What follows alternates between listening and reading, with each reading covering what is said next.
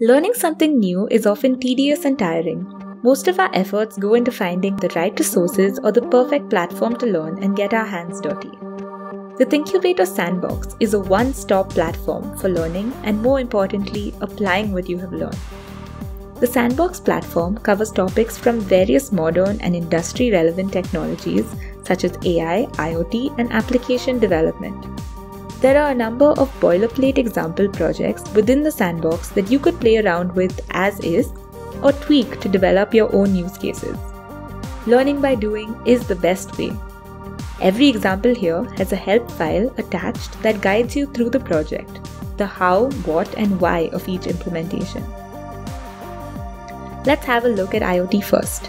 Under IoT, you can see three separate sections Wi Fi, GSM, and SMS.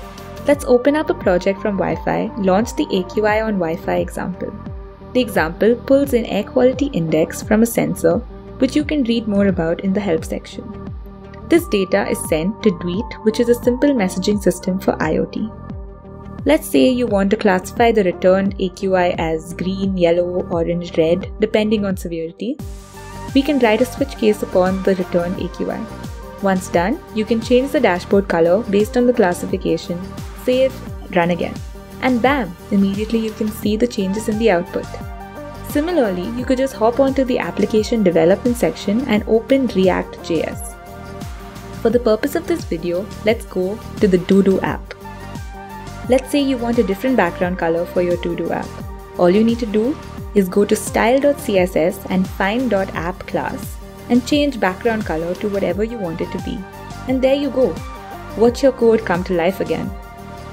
Under Machine Learning and AI, you will find three sections regression, classification, and regeneration. In simple regression, let's work on the sales prediction application. Although these are not generic programs with small iterations, you can get them working for any similar dataset. Let's try to predict housing prices instead of sales. We create a copy of the existing example and make the following changes. Let's use this Boston housing prices dataset right here. We need to get a different dataset this time and change column names as the data columns are different. Now let's rerun the file. Done. Wasn't that simple? Learning anything could be simple if you could simply find one place to learn and apply those learnings. That's exactly what the thingQbator Sandbox aims to do. Happy coding! And you can try it now at thingqbator.nasscomfoundation.org slash main slash sandbox.